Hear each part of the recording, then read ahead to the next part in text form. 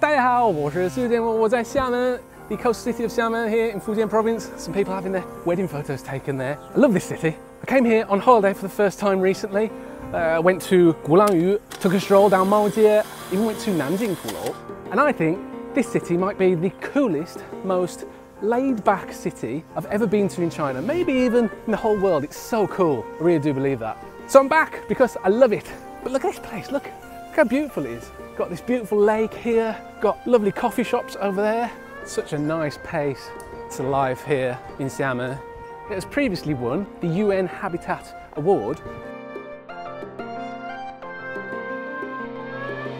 This is Yundanghu or Yundang Lake a perfect example to explain how green the city is. It's now something of a hidden jewel here in the city where people come to relax, unwind, exercise. You've got people going to the coffee shops that have popped up alongside the lake. And also lots of photographers come here to take photos of Bailu or egrets, which is the symbol of Xiamen. Although I haven't seen one yet, let's go find some.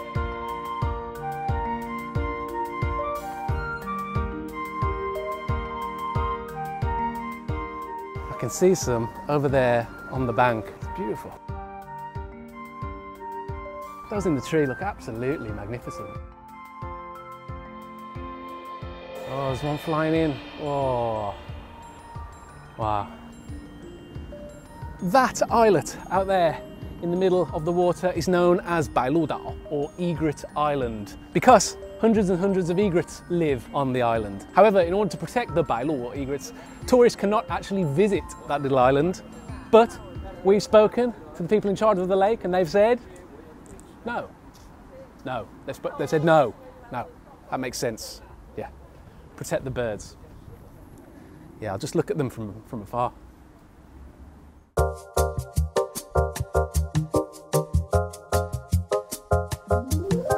And this is one of the the mangrove forest planted in the lake. And just ahead of me actually is a, a, man who looks like he spends a lot of time looking at the bailu or egrets from afar. Let's go interrupt him.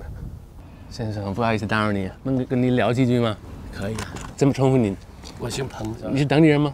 是啊。也是摄影师。我是拍鸟的。爱好是吗？是啊，是啊。那你从什么时候开始在这湖拍鸟的？九五年左右吧。快三十年了。 快三十年了，哇塞！那个时候到现在，这湖有什么变化？之前是怎么样？在二三十年前可不是这样子一个情况。那时候这个地方好多的工厂，沿湖这边都是工厂，这边都是工厂，有做蜜饯的，做饮料的，机械的，机床厂、锻压厂都往沟里面排，沟里面就排到这个湖里面去。你想想那些都臭死啊！我想不到，当时觉得很难受啊，因为蹲在那里拍，味道很臭，些鸟也很怕我的。嗯，眼念看到我们就跑了，离的有时候一百米它就。飞走了，那现在不会了。现在我们在这边闸口啊拍鸟，有时候像我们两个这么近，它都不啊。我看了，一直就飞到人旁边。对呀，它不怕人的。那个时候，如果有人跟你说了三十年后云南湖会这样，你相信吗？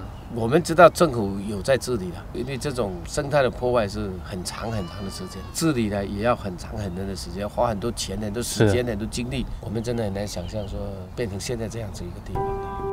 So how did Yundanghu go from a lake that was once full of sewage to a lake that looks like this? Well, it didn't happen overnight. It's taken over 30 years of environmental work. The measures include putting a total stop to the discharge of sewage, dredging the lake, building up the banks, planting mangrove forests in the water, and also now the lake is connected to the sea. And that's achieved by building floodgates on the dikes. That's a floodgate right there behind me. So this collects seawater during high tide and drains water during low tide. So the once very stagnant lake is now very much alive. And that's led to the return of the lake's eco-marine system, including a number of rare species and some small sharks that have returned, turtles and Zhonghua Hou, or Chinese horseshoe crabs. Of course, the work required to keep Yundang looking so pristine hasn't stopped. That work is carried out on a daily basis by a group of people known as Shimin Huzhang or Citizen Lake Chiefs. So I contacted Yundang Hu Baohuzhongxin, the Yundang Lake Protection Centre, and asked if I could be a lake chief for a day, and they said, no, you don't know anything, which is true. Um, but they did say I could talk to a lake chief and ask him about what the job entails. So let's go find him. 站在我旁边这位先生就是云丹湖的湖长，市民市民湖长，怎么称呼您？我叫陈亚进，陈老师您好，哎我是施建国。湖长日常工作是什么样的？主要的工作职责就是巡湖，嗯发现问题，及时跟相关部门反馈。那我看了这里有一些人钓鱼，我们设置了两个规定的垂钓期，所以如果别的地方有人钓鱼，你就不行不，行。我们要去制止，哎，让他们都到那个垂钓区里面来垂钓。还会有一些志愿者帮你做。对我们还有两百来个志愿者。我们现在实行的理念就是人人都是志愿者，嗯不是说我规定的时间内你是志愿者，我踏上公园的这一刻，我就是公园的主人。所以如果我想当志愿者的话，我我就可以，是不是？对，只要人人的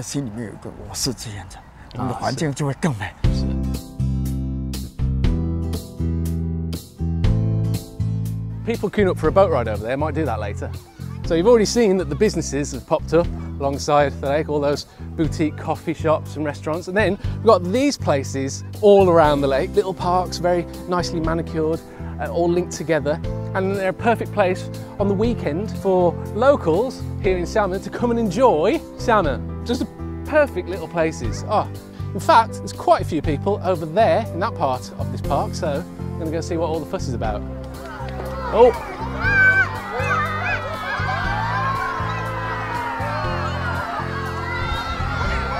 So I know why everyone's here now.